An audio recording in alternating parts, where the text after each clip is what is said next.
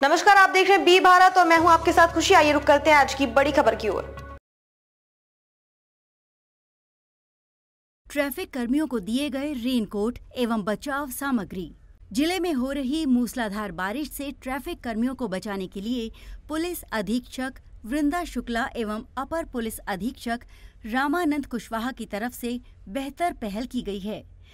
ज़िले में ट्रैफ़िक व्यवस्था में तैनात सैकड़ों सिपाहियों को raincoat drug analyser, helmet, gloves एवं स्पीड चेकर मशीन देकर अत्याधुनिक तकनीकी से लैस किया गया है। आपको ये भी बता दें कि बहराइच की ट्रैफ़िक व्यवस्था को बेहतर बनाए रखने के लिए एसपी एवं अपर पुलिस अधीक्षक की तरफ़ से लगातार बेहतर प्रयास किए जाते हैं। इस मौके पर अपर पुलिस अधीक्षक रामानंद कुशवाहा ने बताया कि सभी ट्रैफ़िक कर्मियों को भारी बारिश से बचाव के लिए तमाम वस्तुएँ मुहैया कराई गई हैं।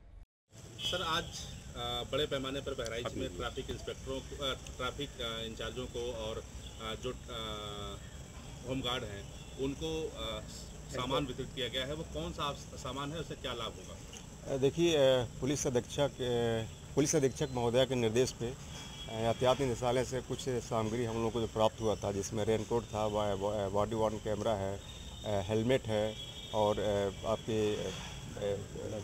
ग्लव्स है इसको वितरित किया गया है, जिसमें सभी ट्रैफ़िक पुलिस को बरसात के मौसम देखते हुए उनको रेनकोट दिया गया है हेलमेट दिया गया है और आपका ब्रेथ एनालाइजर भी सभी टी को दिया गया है ताकि जो भी कोई लोग शराब पी करके रेस्ट ड्राइविंग करते हैं, उनको चेक करके, उनका चलान करें, इस पर रोक लगे एक्सीडेंट में कमी आए।